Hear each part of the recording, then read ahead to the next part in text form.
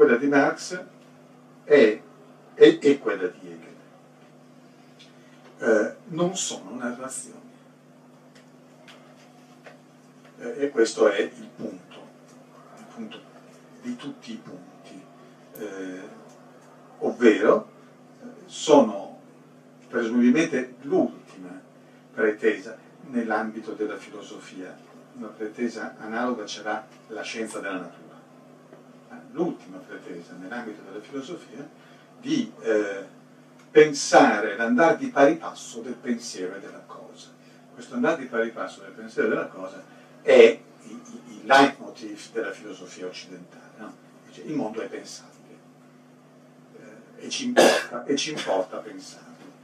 Il soggetto può pensare l'oggetto. Qui c'è l'ultima voce di, questa, questo impulso e aveva ragione il giovane Foucault quando diceva Marx non ha prodotto una frattura totale rispetto a ciò che era preceduto, perché almeno questo impulso c'è. Naturalmente non è più il soggetto che pensa all'oggetto, ma è il formarsi del soggetto-oggetto, ovviamente, siamo in un contesto dialettico. Non di meno, l'idea che questa non è una narrazione è l'idea forte che c'era dentro la testa di Hegel e dentro la testa di Marx. Detto in un altro modo, la totalità esiste, non è una grammatica né una sintassi, è la realtà.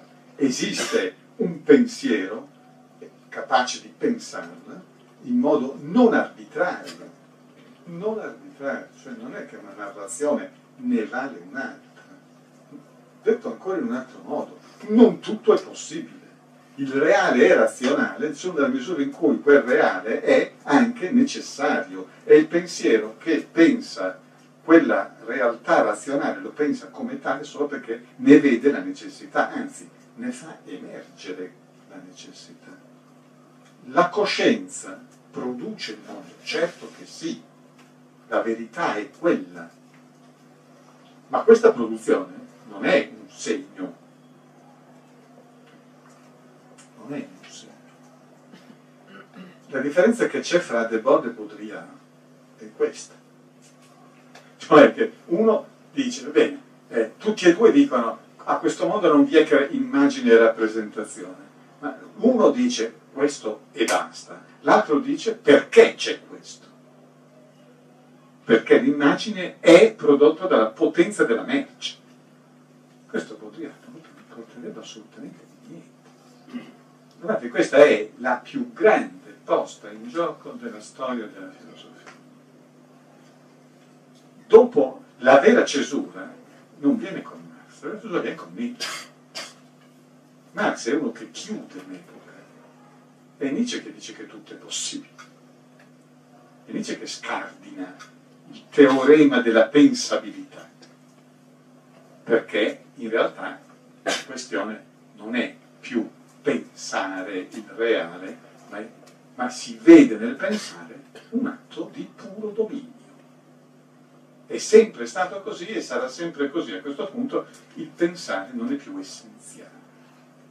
Qui invece siamo davanti all'ultima potenza del pensare che attraverso la produzione del pensiero scopre che il soggetto produce se stesso e produce anche la realtà, come dire, storico-fattuale. Da qui ciò a cui il marxismo non può rinunciare, una filosofia della storia. Non puoi dire io sto dentro la dialettica e poi dire boh la filosofia della storia è un rottame, lo butto via. Puoi. Io l'unica correzione che farei a questo libro è che secondo me, eh, allora, Marx sicuramente si impegna in vari luoghi a, fare, a tracciare delle coordinate, chiamiamole transepocali sicuramente si trovano, ci sono. Quello che io dico è che non c'è bisogno di questo. Quello che Marx in realtà di cui ha assoluto bisogno è una filosofia della storia moderna, cioè la filosofia della storia del capitale. Cioè l'idea che il capitale nasce, si sviluppa in un certo modo e deve produrre la, il soggetto e le catastrofi che lo porteranno a una trasformazione radicale. Non c'è bisogno di prendere per buona quello che Marx sicuramente ha scritto, cioè che lui ha scoperto la legge fondamentale della storia come storia della produzione economica e del conflitto di classi in ogni forma di produzione economica e del passaggio di una formazione socio-economica ad un'altra attraverso la catastrofe. Questo secondo me è a parte caduca, è il tributo pagato al positivismo ottocentesco, è il tributo pagato allo spirito di sistema che, che c'è come, altro che no, eh, c'è come e ha pure ragione a mettercelo lo spirito di sistema, perché quando si dice dialettica non è una narrazione, è, è come dire il sistema è nella cosa. La cosa sistema, la cosa con la C maiuscola, cioè il capitale, la società nel suo muoversi. E direte, beh, è ovvio tutto ciò. Per me sì, che ho tutti gli anni che ho e che mi sono formato quando tutto ciò era un discorso abbastanza comune. Ecco, la cosa incredibile, impressionante, è che tutto ciò è scandalo e follia, stoltezza, eh, barbarie, eh, per le orecchie e per i cervelli del 99% degli intellettuali di ogni razza e credo e specialità accademica. Qualche esempio.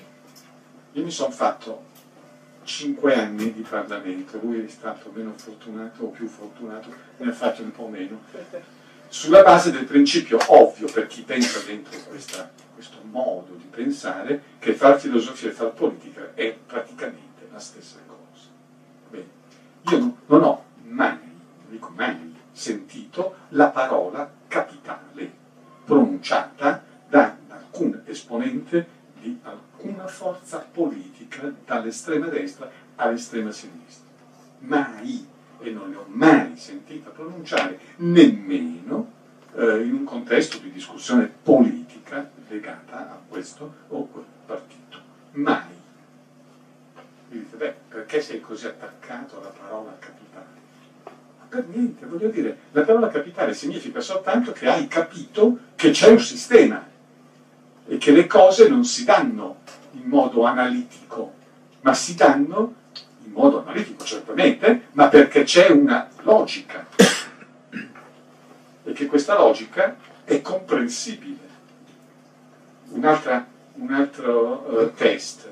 Andate voi a dire la parola neoliberismo davanti a un uh, economista neoliberista. Ne, ne nega l'esistenza. Esiste una sola realtà, che è quella che c'è qui, che non ha passato, è puro presente, si manifesta in vari modi, che se, se il mondo fosse come dovrebbe essere, sarebbero tutti sotto controllo del nostro sapere analitico. Poi purtroppo ci sono i sindacalisti, i politici, eh, chi volete voi, disturbatori che producono rumore. E, e questo rende le cose difficili. Voi capite la potenza, non sto dicendo che tutto ciò è un meno, tutto ciò è un più. Cioè la potenza che si acquisisce quando si rinuncia alla dialettica perché davvero puoi pensare che tutto è possibile e lo puoi pure fare. Chi si mette dentro questa strada, dentro questa strada, si mette dentro una strada che di solito viene criticata come la strada della infinita superbia dell'io, che pensa di poter dominare il corso della storia e cambiare la realtà in umanità. In realtà questa è una strada di grande umiltà, questa è la strada della fatica. Certo che puoi cambiare il mondo, certo, facendo l'immane fatica di pensarlo in tutte le sue determinazioni, in tutte le sue contraddizioni, l'imbane fatica di esporre il soggetto pensante, esporre il soggetto pensante a tutte le contraddizioni, fino a quella suprema che è la sua scomparsa. Cioè Luca ci diceva queste cose, poi le avrà anche mh, ritirate dicendo che non sapeva quel che diceva, invece lo, lo sapeva benissimo. Questa è una filosofia dell'assoluta umiltà. Questo nasce dalla mia lettura giovanilissima di Adorno, che appunto parlava di Hegel come di un filosofo dimesso e sommesso. Non, mentre invece i filosofi della potenza, del grande gesto, sono quelli che buttano via la dialettica. Dicono, tutto si può fare, volontà di potenza, decisione. E lì c'è la ibris. Noi, dialettici, io mi ci metto perché ho studiato tutta la vita quasi solo dei pensatori non dialettici, perché c'è, c'è una ricchezza enorme, se sia ben chiaro. Ma eh, noi dialettici siamo delle formichine, siamo delle formichine che vogliamo portare pesi più grossi di noi in lunghissimi tragitti, con la pretesa che sia alla fine, alla fine ci arriviamo a costruire la società regolata, il formicaio dove nessuno comanda. Eh. Allora, noi oggi siamo all'interno di un universo che, si, che produce un universo storico, che produce se stesso rinunciando alla storia, che non a caso è la materia scolastica più negletta e che è meno tutelata dalle corporazioni del potere. Non ne vogliono sentire parlare, la storia non esiste, non deve esistere. Eh, siamo in un universo che vuole essere privo di storia eterno presente, che nega la possibilità di essere compreso come un tutto. Si presenta come un tutto ai nostri occhi, ma si propone come un infinito gioco di specchi in cui l'infantile soggetto ridotto a infante, cioè che non parla, eh, si specchia ora in questo, ora in quello, ora in quell'altro specchio e così vive una bella vita a frammenti e se, se è fortunato se ne appaga, se è sfortunato peggio per lui. Allora voi dite, ma perché sono diventati così malvagi? Perché il mondo è così malvagio? Eh, perché perché noi non sappiamo se siamo nel momento in cui, questo proprio non lo sappiamo, nel momento in cui la dialettica tace per sempre, o semplicemente in una fase costruita in questo modo. Insomma, la scommessa del, del presente è le contraddizioni non sono produttive, ve le tenete e ci restate sotto. La scommessa del pensiero dialettico è le contraddizioni cambiano, producono cambiamento, purché ci sia un soggetto che abbia voglia di interpretare. Da cui la enorme fatica che il nostro sistema presenta nell'accogliere momenti in cui le persone insieme ragionano e parlano. E la grandiosa invenzione di Internet come invenzione di separazione e di immediatezza religiosa.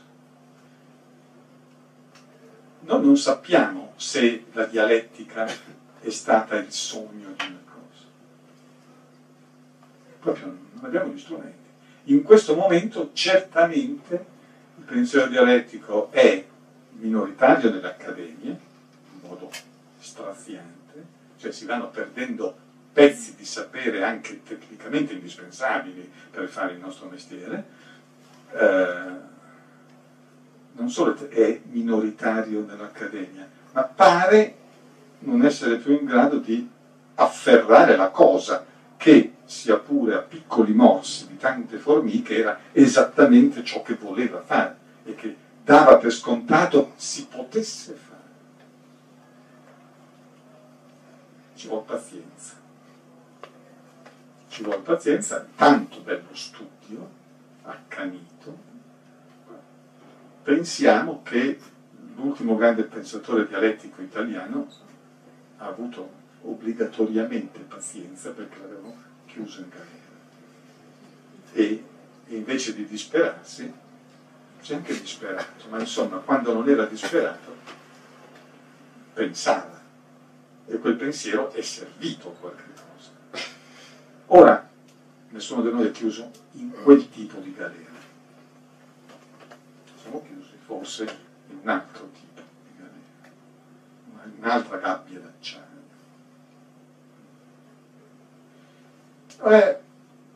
L'idea, l'idea che si possa andare avanti soltanto per colpi, eventi, decisioni che, sostanzi- che hanno come obiettivo che la contraddizione resta. resta. Non, è, non è produttiva, è soltanto spostata. Oppure che abbiamo una capacità di riprenderci in mano il nostro destino sostanzialmente è questo. Questa idea è la grande, la grande protagonista dell'interrogativo radicale di chi fa filosofia oggi. All'interrogativo evidentemente Alberto Buggio dà una certa risposta. Io, non, io non riesco a non darla anch'io in quel senso, cioè l'idea di vivere in un universo fatto solo di decisioni con tutto il fascino che ha la decisione, vuol dire vivere in un universo dove non capisci più, dove non c'è più niente da capire, non c'è più niente da capire, dove a priori non c'è più niente da capire. Non solo, ma vuol dire vivere in un universo che porta dentro di sé contraddizioni potentissime, enormi, che vengono, de- vengono definite come errori di qualche algoritmo, se sì è vero, mm, abbiamo, eh, abbiamo, impoverito le società invece che arricchirle, sì, perché il coefficiente di valutazione era, quello vero era 2,5, noi invece avevamo messo dentro la macchinetta 1,6 e questo ha scassato tutto, scusate. Oppure la contraddizione è, dice, fa parte della natura umana, ma cosa vuoi? Eh, la felicità per tutti, accontentati di quel che passa il convento e pensa come si stava male prima. Oppure, ma quale contraddizione? Va tutto benissimo.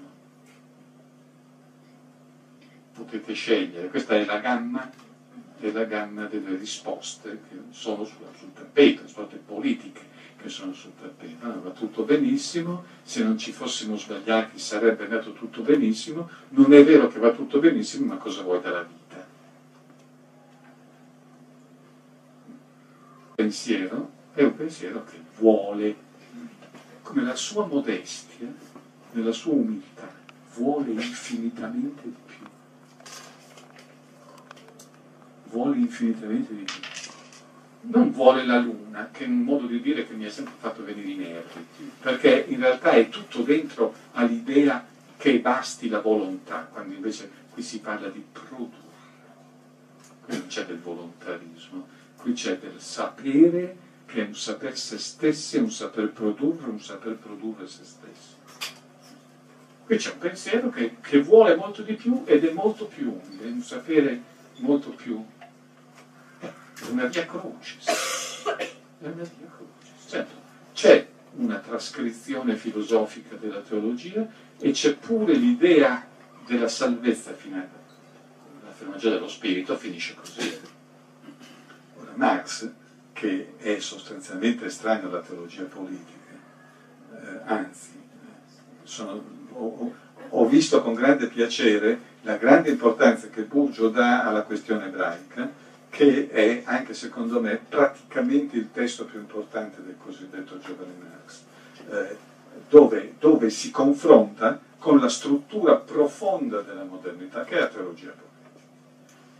La, la scopre, spiazza un colpo davvero di grande intelligenza, spiazza tutta la disputa destra-sinistra hegeliana, la spiazza, dice siete soltanto due versioni, una più attardata e l'altra un pochino più moderna, di un unico grande problema che è quello che non vedete, quello che non vedete, cioè il problema della duplicazione del mondo. La, la, la, duplicazione, che è il problema che sarà poi il problema anche di Nietzsche, non la risolvi spaccando uno dei due elementi.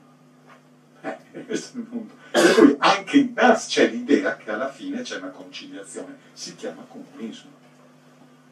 Non c'è l'inconciliato, c'è il conciliato. Poi, il vero problema è che questa filosofia è esposta alla storia, proprio ce l'ha dentro di sé. Ecco, e sotto il profilo storico, coloro i quali si facevano in un qualche modo riferimento a questo testo, a questo, trasformandolo in narrazione, ovvero in ideologia, hanno perduto. Hanno perduto e basta. Eh, non dico guardate l'URSS, dico guardate in Italia. E per una filosofia di questo tipo, quel tipo di sconfitta è un problema, tranne che tu non riesca a dire te stesso che poi è quello che sta dietro l'attuale timida ripresa degli studi su Marx che dopo tutto quell'affermazione di filiazione rispetto al pensiero di Marx era spuria o comunque era una delle possibili interpretazioni del lascito marxiano, una delle possibili, per di più avvenute in contesti molto difficili e assai diversi da quelli che erano previsti e che erano stati analizzati da Marx stesso. Il risultato, il risultato è che si può ancora leggere Marx, proprio con la potenza critica che c'è dentro che dal libro viene fuori benissimo, la potenza critica che vuol dire il non, eh, lo spirito di contraddizione reso sistema, insomma. Lo spirito di contraddizione reso sistema, per, non perché è un gioco nella tua testa, ma perché lo vedi il sistema, c'è ancora una potenza critica c'è una potenza critica, non, non è stata consumata dalla dai marxismi che sono andati al potere, eh? che, è di solito, che è di solito quello che i più, i più attenti alle proteste ti dicono, ma insomma va bene, tu sei pieno di buoni sentimenti, ami l'umanità, eh, però hai visto come è andata a finire. Eh, allora, non si tratta di amare l'umanità, non è un umanitario, si tratta di, di avere un'alta concezione, alta concezione dell'umanità in quella umiltà. Alta concezione vuol dire non è possibile che l'umanità viva senza sapere quello che fa. E per sapere quello che fa deve, deve scavare. Mm, scavare. La grande immagine del, del suo amatissimo Shakespeare. Siamo in fase di scavo non è ancora rispuntata. Qualcuno aveva detto che era spuntata nel 1917. Diciamo che lì è spuntata una volta, ha fatto, se guardate intorno, ha prodotto qualche cosa, ma poi ecco, continua a scavare. continua a scavare. Questa è la domanda.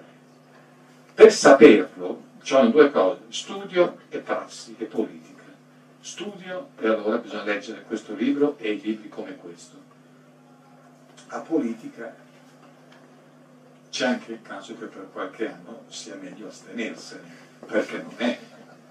È chiaro che questo pensiero non te lo puoi tenere in tasca, non è un pensiero consolatorio, non serve per star bene. Ecco.